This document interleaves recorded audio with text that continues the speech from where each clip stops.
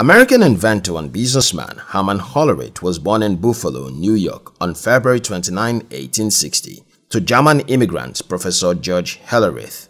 Herman began his education at the City College of New York in 1875 and he graduated in 1879 with a degree in engineering from Columbia University School of Mines.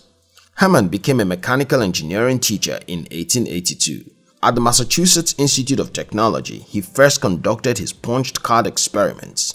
Herman left the job two years later and moved to St. Louis. At the same time, on a train to and from his journey there, he noticed that the conductor of the train would have to punch various small information into the ticket of each passenger. His experience at the train led him to seek a way to make data collation easy. Fortunately, at this time, he got employed into the United States Census Bureau and also filed for his first patent, which was titled Art of Compiling Statistics. His patent was approved in 1889. While at the census job, Herman was propelled by the director of the Census Bureau's Division of Vital Statistics, John Shaw Billings, to find a way to enter census data. So Herman developed a mechanism that could record information, which was described as a doctoral thesis of an electric tabulating system in 1889. His invention was initially used to tabulate medical statistics from the United States Army in 1890. It was also adopted for use by the Census Bureau for that year's election. He operated his business under his own name, the Hollerith Electric Tabulating System. He was awarded a PhD in the same year for his development of the tabulating system. But by the 1990 census, Herman's invention had been revised with the improved tabulating machine saving American taxpayers $5 million and saving what would have been done in 8 years into 2 years. Herman then founded his company, the Tabulating Machine Company, in 1896. He leased out and sold several of his machines and punched cards to several census bureaus all over the world.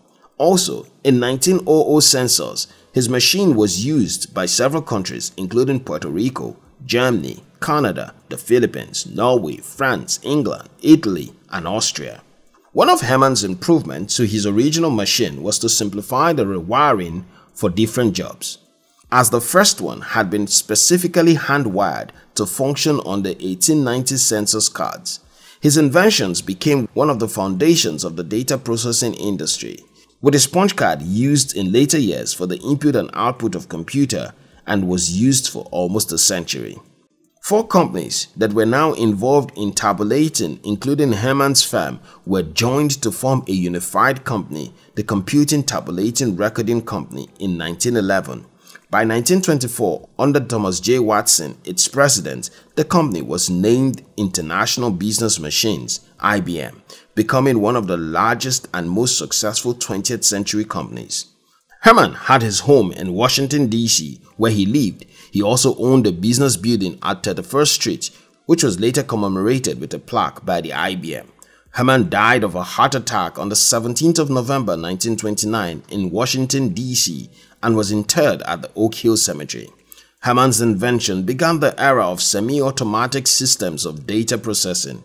He is regarded as one of the figures who developed data processing.